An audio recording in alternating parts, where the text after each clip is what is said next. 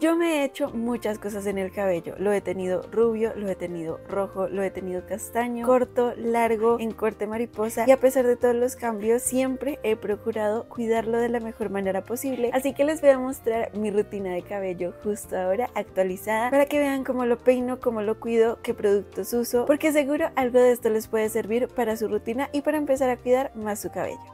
Ok, ya son las 7 de la noche y les voy a mostrar este paso que sé que se los he contado antes, pero no sé si se los he mostrado. Entonces, todas las noches, y esto es sagrado, si tú quieres empezar a cuidar más tu cabellito, por lo menos es lo que yo hago, aceitito para el cabello y una trenza. Miren, justo mañana me va a lavar el cabello, pero aunque no me lo fuera a lavar, este paso es algo que trato de hacer todas las noches. Primero me aseguro de que el cabello esté completamente desenredado, empezando por las puntas y luego subiendo.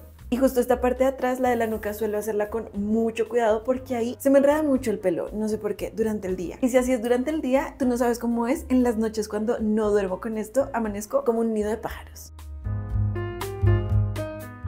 Y ahora sí, cabellito a la mitad y voy a aplicar un pump de aceite para cada lado. Miren, yo sé, yo sé que hay mucha gente que dice que no debemos dormir con el cabello atado, pero créanme que he comprobado que esta es la mejor manera posible para que tu cabello no se enrede, para cuidarlo y para que al otro día no se te caiga tanto cabello cuando te estás desenredando, créeme. Y lo mejor es que si aplicas cualquier aceitito, este va a hacer efecto durante toda la noche. Entonces, como se dan cuenta, la trencita que vamos a hacer acá es muy sencilla, necesitas que quede tan apretada porque la idea es que también se nos facilite para dormir. Al final, como te das cuenta, yo siempre uso un scrunchie. Si es de satino de seda, muchísimo mejor porque no se te parte el pelo. Como ves, queda súper sueltica y es muy cómodo para dormir. Ustedes saben que yo soy fan de las ondas sin calor, pero no me gusta dormir tratando de hacerme las ondas porque para mí es muy incómodo simplemente no es sostenible. Entonces lo que yo hago todas las noches, una trencita y eso es todo. Y te aseguro que mi cabello me lo agradece el otro día. Y así mi pelito ya está listo para pasar toda la noche en la almohada.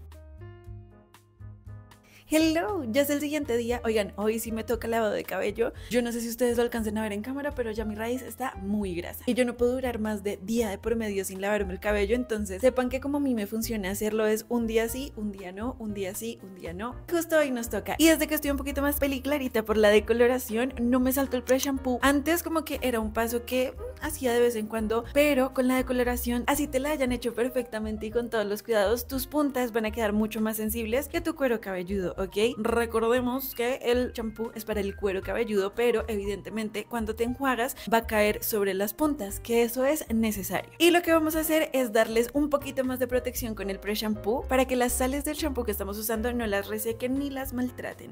Ya sabes que para tu pre-shampoo puedes usar mascarilla o acondicionador y si quieres lo puedes mezclar con un aceitito capilar y funciona perfecto. Y mira, lo que yo hago para mi pre-shampoo es mezclar mi acondicionador con un aceite capilar, puede ser de coco, de argán, el que quieras de romero, pero que esté formulado para tu cabello. Y simplemente los vas a mezclar, es muy fácil. La cantidad depende de qué tanto cabello tengas, lo aplicas de medios a puntas, es decir, desde las orejas hacia abajo y ya únicamente lo aseguras con un clip. Y eso es todo para hacer tu pre-shampoo, déjalo 10 minutos y puedes aprovechar estos 10 minutos para hacer lo que quieras, para hacer journaling, para preparar tu desayuno, para atender tu cama. En realidad no te vas a demorar mucho y es un paso que puedes incluir muy fácilmente dentro de tu rutina.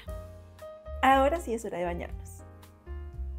Por cierto, recuerda que independientemente de que utilices pre-shampoo o no, siempre después de tu shampoo cuando te laves el cabello debes aplicar acondicionador. Este paso no lo reemplaza, solo para que lo tengas en cuenta. Para este proceso yo tengo mis técnicas y la primera es siempre lavarme con agua fría, sobre todo ahorita que estoy decolorada. Oigan, no me puedo dar el lujo de lavarme con agua caliente porque deshidrata el cabello. Lo que hago es aplicar el shampoo únicamente en la raíz y trato de no sobreestimularla. Ahora, después de enjuagar voy a aplicar mi mascarilla medios a punta y esta la dejo actuar de 5 a 10 minutos dependiendo de qué tanto afán tenga. Por cierto, la uso una vez por semana. Y un tip que te puedo dar es que justo cuando tu cabello esté así, trates de desenredarlo con los dedos, ¿ok? Si tienes la mascarilla o el acondicionador aplicado va a ser mucho más fácil desenredarlo en la ducha y ya una vez que enjuago la mascarilla, aplico nuevamente el acondicionador de medios a puntas, lo dejo actuar y enjuago. Y una vez que yo salgo de la ducha, lo que hago es utilizar estas toallitas de microfibra, que si no tienes, no te preocupes, puedes usar una camiseta vieja de algodón. Ahora, la cosa con esto es que no tengas que enrollar 500 veces el cabello. Si te das cuenta, yo acá simplemente di una curvita y ya. Mientras tanto, para que absorba la humedad, que normalmente cuando usas una toalla que es demasiado grande, tienes que enrollar muchas veces y hace que quede esta parte de adelante como súper tirante. Si tú haces eso todos los días, va a causar el mismo efecto que el del clean girl look si lo usas todo el tiempo. Y es que eventualmente esta parte de acá pueda llegar a sufrir de alopecia. No queremos que se nos caiga el cabello. Entonces usas esto, te lo dejas por 20 minuticos. Si puedes menos, mucho mejor para que absorba la humedad. Y la ventaja de no utilizar tu toalla regular es que no genera tanto frizz. Entonces, si puedes con una de estas o con una camiseta de algodón, no necesitas más. Vamos a quitar el exceso de humedad a toquecitos muy suave. Créeme que no necesitas ser ruda en este paso. Ustedes ya saben, se los he mostrado muchas veces. Yo utilizo este cepillo que es un Vent Brush.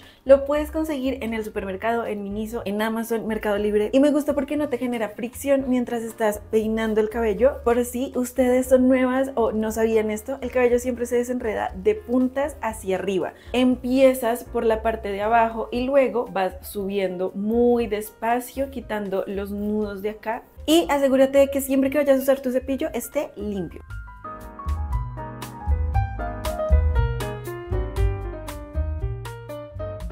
Ahora, ya que me lo desenredé, ustedes saben que yo seco mi cabello con secador en aire frío. ¿Por qué? Porque secar con secador en aire tibio o frío es mucho menos dañino para la hebra capilar que dejar el cabello húmedo por muchas horas. Mi cabello se demora en secar, entonces prefiero hacerlo de esta manera que sé que no va a dañar la parte interna del cabello. Y para hacer eso hay dos pasos que no me pueden faltar. Este, que justo ahora que estoy decolorada siento que me funciona mucho mejor. Y lo enfatizo mucho en las puntas. Este es un tratamiento reparador y el termoprotector porque si estamos usando aire tibio igualmente nos va a proteger y si tú usas aire frío con tu secador el termoprotector también te puede ayudar para proteger el cabello del sol, ¿ok? El que yo utilizo es este de Trust. A mí la verdad este me gusta mucho. Ya se me está acabando entonces si ustedes tienen recomendaciones de otros termoprotectores que les sirvan déjenmelo en la parte de abajo. Yo todos los productos para el cabello que van de medios a puntas trato siempre de aplicarlos con esta técnica que se llama manos rezando. Básicamente ustedes emulsionan el producto y luego como que van aplicando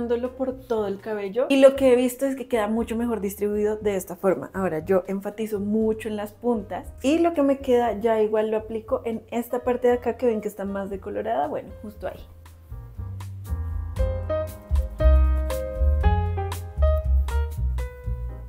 Y justo después de esto, vamos con el termoprotector. Si tú decides empezarlo a secar con el secador, asegúrate de hacerlo en aire frío nuevamente y a una distancia de 10 a 15 centímetros, siempre hacia abajo, porque es la dirección en la que la cutícula se encuentra. Así no tienes frizz. Y ya con el cabello seco, acá hay de dos. Podemos hacernos las ondas sin calor, que ustedes saben que las hago con leggings.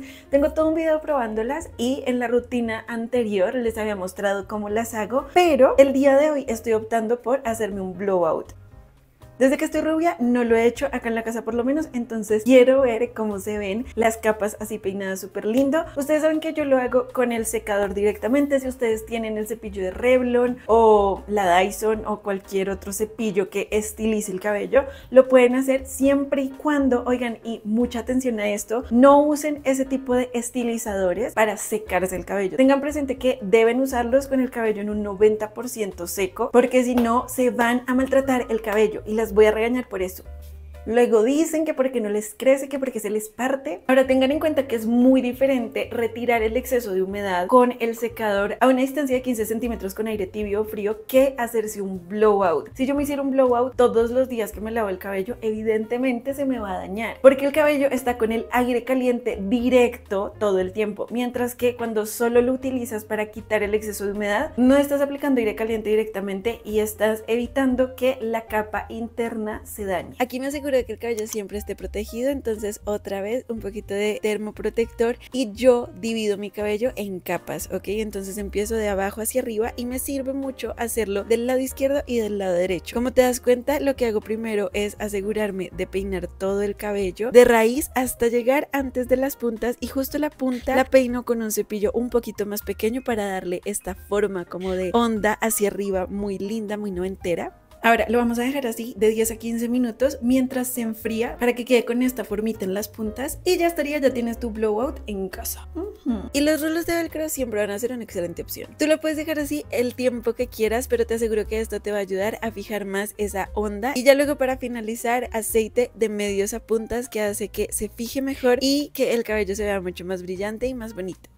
Y este sería el resultado final de nuestro blowout en casa. Ahora tengo que decirles que no me hago esto constantemente. Hoy simplemente quería mostrarles cómo lo suelo hacer utilizando el secador. Y tengo que decirles que sí es preferible entre herramientas de calor el secador a la plancha porque maltrata menos. Pero no quiere decir que no maltrate, así que prefiero las ondas sin calor. Ok, y estos de acá son los productos que yo utilizo en mi rutina que les voy a hablar rápidamente sobre ellos. Ninguno es sponsor, ninguno está patrocinado. Nadie me está pagando por hablar de ellos. Vamos a empezar por el champú y desde que me decoloré el cabello estoy usando este que es el Elvir Hialurónico Pure. Ahora, yo lo elegí por mi tipo de cuero cabelludo que es graso. Este tiene ácido salicílico. Justamente en la parte de abajo dice que es para raíz grasa y puntas deshidratadas, pero recuerden que el champú no necesariamente está pensado para las puntas, sino para el cuero cabelludo. Ahora, necesitamos hablar de esto y es que si tu hebra quedó muy sensibilizada, lo mejor es que utilices algún champú profesional. Estos de acá son varios de los que recomiendan justo cuando tú estás rubia. Estos champús son costosos y les voy a ser muy honesta, siento que mi tipo de cabello es como bastante resistente. En mi caso, muchas de las veces que yo he estado rubia, he utilizado shampoo de farmacia por mucho tiempo. Ustedes saben que utilicé el de Herbal Essences, que es este de acá, y a mí me funcionaba un montón. Entonces, yo voy a ser muy honesta con ustedes, si pueden invertir, háganlo, pero si necesitan invertir en una sola cosa, yo les recomiendo que inviertan en la mascarilla, porque es que el champú al final va en tu raíz, el acondicionador va en la parte externa del cabello, pero lo que sí penetra hasta la médula del cabello es la mascarilla. En mi caso, ustedes saben que llevo mucho tiempo utilizando esta que es de Authentic Beauty Concept. Me deja el cabello súper suavecito, tiene un olor muy rico y repara también. Dice que es para cabellos tinturados, entonces esta es una muy buena opción. Yo utilicé toda la línea de Glow por un tiempo y me fascinó, pero estos son productos más costosos. Y retomando, como el acondicionador solo va en la parte externa de tu cabello de medios a puntas, el acondicionador no tiene la capacidad de penetrar hasta la parte más interna de la hebra capilar.